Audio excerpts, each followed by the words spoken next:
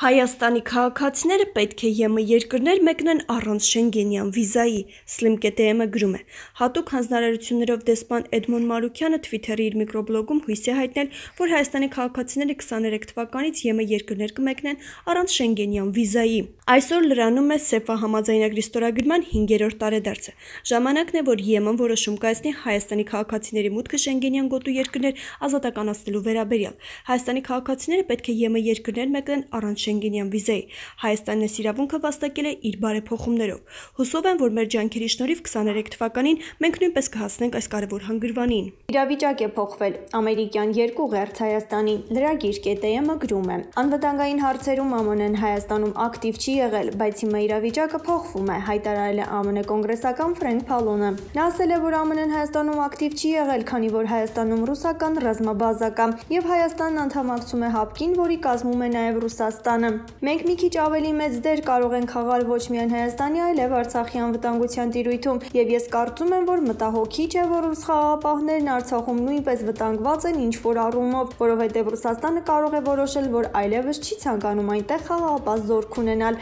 ասել է Փալոնը։ Կոնգրեսականը Հայաստանի խորհուրդ է տալիս ավելի սերտ շփումներ ունենալ Եվրամիության ու ՆԱՏՕ-ի հետ։ Միգուցե անհրաժեշտություն այդ ուղությամբ նայել այս պահին Հայաստանի համար, որովհետեւ ռուսական անվտանգության պակտը կարծես թե Հայաստան չի ընդգրկում։ Երեկ Երևանում ամուլի ասուլիսի ժամանակ ԱՄՆ ներկայացուցիչների պալատի ժողովրդավարական գործընկերության հանձնախմբի նախագահ Դեյվիդ Ֆրայսը ԱՄՆ-ի եւ Հայաստանի միջև ռազմական համագործակցության մասին հարցին այսպես է պատասխանել. Որևէ կոնկրետ հայտարարություն դրա վերաբերյալ այսօր չունեմ, բայց խոսնակ Փելոսին շատ հստակ անդրադարձ է արել։ Ակնհայտ է, որ տարածաշրջանում բալանսը փոխվում է, հաշվի առնելով Ռուսաստանի հետ կապված իրադարձությունները։ Միգուցե որոշ ուժեր այլևս այնքան արմատական չեն, ինչպես ինչպես եղել են, եւ վստահաբար կլինեն փոփոխություններ։ Այս պահին քննարկումներ տեղի են ունենում մասնավորապես այն մասին, թե ինչ հարաբերություններ կզարգանան ներառյալ անվտանգային տիրույթում։ Այս քննարկումները բավական ինտենսիվ են ընթանում։ Ամեն ինչ ասված է པարզ առանց ենթատեքստերի։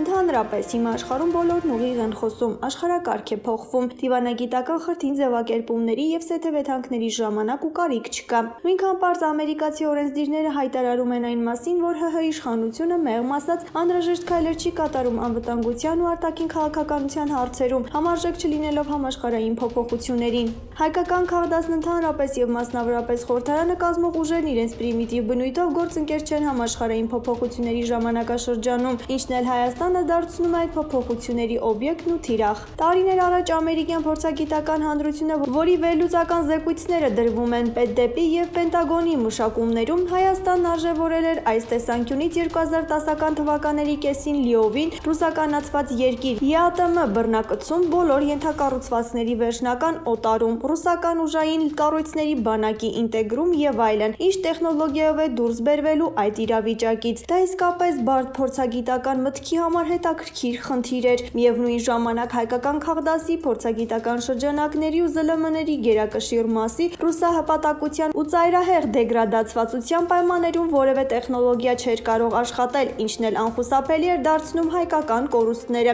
Դրանք ավելի են մեծանում հայկական գործոնի եւ իրավունքների փաթեթի գիտակցման բացակայության կամ դիտավորյալ անտեսելու պատճառով։ Իսկ աշխարհում շատ լավ գիտեն հայկական գործոնի իրական ուժը, մասնավորապես Մոսկվան ու Անկարան, եւ նրանց համատեղ ագրեսիայի ծավալն ուղիղ համեմատական է հայկական գործոնի ուժին։ Ռուսաստանը հեռանում է Հայաստանն ու Կովկասյան տարածաշրջանը թուրքերին հանձնելով հայկական գործոնի չեզոքացման, ըստ այդմ հայկական պետականության վերացման ռուս թուրքական պլաններն անհնար կլինեին, եթե Հայաստանում լիներ սեփական գործոնի եւ իրավունքի գիտակցում, դրանք համաշխարհային զարգացումների համատեքստում դիտարկելու կարողություն ու հայտ։ Ռուսաստանին հայերը պետք է ճանապարհեին ոչ թե մինչև վերջ կարճելու նրանից անխուսափելիորեն կորուստներով եւ դա էր նոր աշխարհակարգում Հայաստանի քաղաքական հայտի ու սուբյեկտության գրավականը։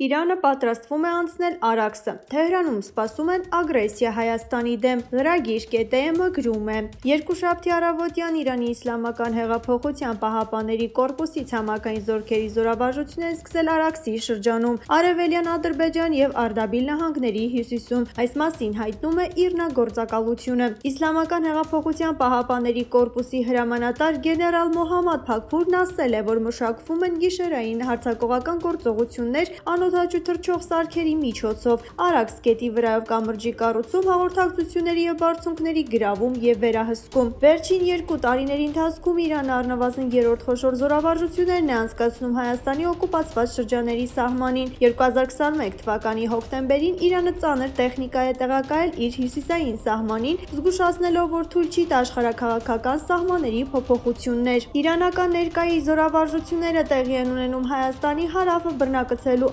անթաքույց փորձերի ֆոնին։ Ֆրանսիան ուղղակիորեն մեղադրել է Ռուսաստանին ագրեսիայի փորձի մեջ, իսկ ԱՄՆ-ն ասել է, որ Ռուսաստանի գործողությունները նման չեն խաղաղության հաստատման ջանքերին։ Իրանական վարժանքների Արաքս գետով անցման ճանապարհների գրավման սցենարը վկայում է այն մասին, որ Իրանը պատրաստվում է ռազմական գործողությունների իր սահմանին։ Ավելին, Թեհրանի ռազմական միջամտությունը չի բացառվում, եթե երրորդ ուժերի կողմից փորձարվի վերահսկողության տակ առնել Հայաստանն Իրանը կապող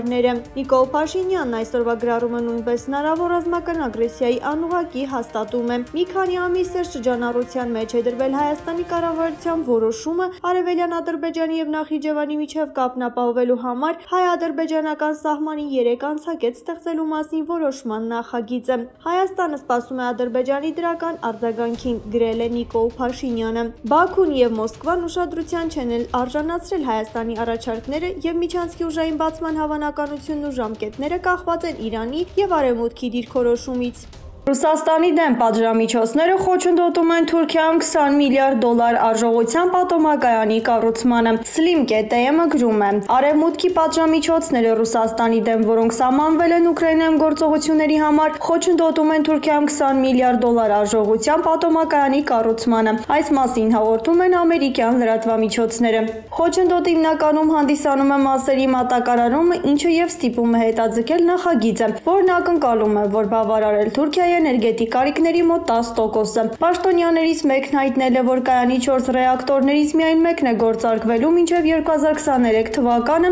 երկրի 100-ամյակին նվիրված միջոցառումների շարքում։ Նշենք, որ Ռեջեփ Թայիպ Էրդողանը փետրվարին հայտարարել էր, որ հաջորդ տարի երկու ռեակտորները միանալու են ցանցին, որը անհնարին է արդեն։ Անկարան եւ Մոսկվան քննարկում են պոտենցիալ խնդիրներ, ինչպիսիք են սարքավորումների ձեռքբերումը, որոնք պետք է ապահովեն երրորդ երկրներից Կապալարուի Ռուսաստան Հայաստանի պետական վերահսկողության տակ գտնվող Ռոսատոմ կորպորացիայի կողմից ասել է Թուրք բարձրաստիճան պաշտոնյան, որն անմիջականորեն մասնակցում է շինարարությանը։ Ռոսատոմն հայտնել է, որ գործարանի համար սարքավորումների արտադրությունն ու առաքումը կատարվում է ժամանակացույցի։ Ծրագիրը ֆինանսավորվում է ռուսական Սպերբանկի կողմից, որի նկատմամբ ԱՄՆ-ն ու Եվրամիությունը պատժամիջոցներ են կիրառել։ Ռուսաստանի Դաշնության падգամավոր Միխայել Դելյագինը հայտարարել է, որ Ռուսաստանը պետք է հարված հարց հասցնի Ադրբեջանի նավթային արդյունաբերությանը։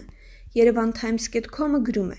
Ռուսաստանի Դաշնության Պետդումայի падգամավոր Միխայել Դելյագինը Ռոսիա 24 հեռուստալիքի 60 րոպե հաղորդման եթերում կոչ արել խստորեն եւ միանշանակ պատժել Ադրբեջանին,